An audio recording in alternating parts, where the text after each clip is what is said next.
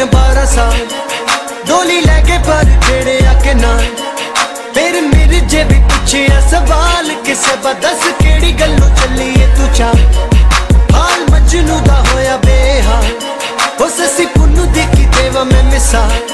ਹੋ ਵੇਖੋ ਜਿਹੜੇ ਵੀ ਜ਼ਮਾਨੇ ਹੋ ਨਵੇਂ ਆ ਪੁਰਾਣੇ ਇਸ਼ਕ ਵਾਲਿਆਂ ਦਾ ਹੋਇਆ ਬੁਰਾ ਹਾਲ। ਜਾ ਸੁਣ ਹੋ ਇਸ਼ਕ ਬੇਪਰਵਾਹ ਹੋ ਇਸ਼ਕ ਬੇਪਰਵਾਹ।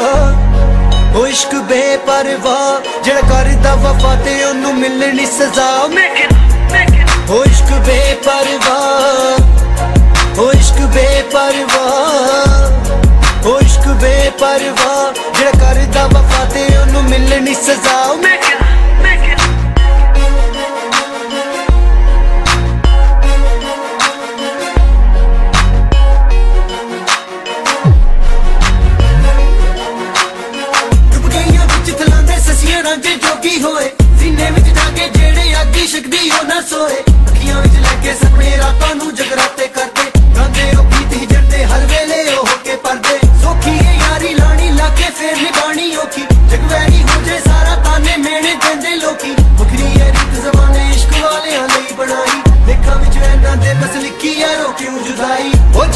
ਇਸ਼ਕ ਤੇ ਨਿੰਦਰ ਵੀ ਮੁੱਕ ਜਾਵੇ। ਸੀਨੇ ਚੋਂ ਸਾਹ ਦਿਲ ਧੜਕਨ ਰੁਕ ਜਾਵੇ। ਲੱਗੇ ਫਨਾਰ ਦੁਨੀਆ ਦੀ ਥਾਂ। ਤੇ ਅੱਖੀਆਂ ਵਸ ਵਸ ਅਥਰੂ ਵੀ ਸੁੱਕ ਜਾਵੇ। ਹੋ ਜਾਵੇ ਇਸ਼ਕ ਤੇ ਦੁਨੀਆ ਵੀ ਭੁੱਲ ਜਾਵੇ। ਸਾਰੀ ਜਵਾਨੀ ਵਿੱਚ ਮੱਟੀਆਂ ਦੇ ਰੁੱਲ ਜਾਵੇ। ਜਾਣੇ ਖੁਦਾ ਕਿਸ ਗੱਲ ਤੋਂ ਬਲਾ ਇਸ਼ਕ ਵਾਲਿਆਂ ਨੂੰ ਕਦੇ ਮਿਲੇ ਨਾ ਵਫਾ। ਹੋਰਾਂ ਮੱਚੀ ਅਚਰਾਈਆਂ 12 ਸਾਲ। ਡੋਲੀ ਲੈ ਕੇ ਪਰ ਆ ਕੇ ਨਾਲ?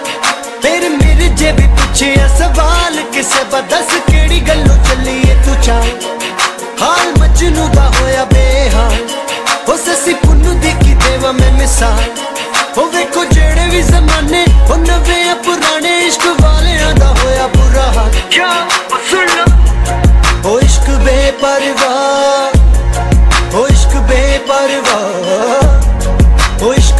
ਇਸ਼ਕ ਬੇਪਰਵਾਹ ਜਿਹੜਾ ਕਰਦਾ ਵਫਾ ਤੇ ਉਹਨੂੰ ਮਿਲਣੀ ਸਜ਼ਾ। ਮੇਕ ਇਟ ਮੇਕ ਇਟ ਹੋ ਇਸ਼ਕ ਬੇਪਰਵਾਹ।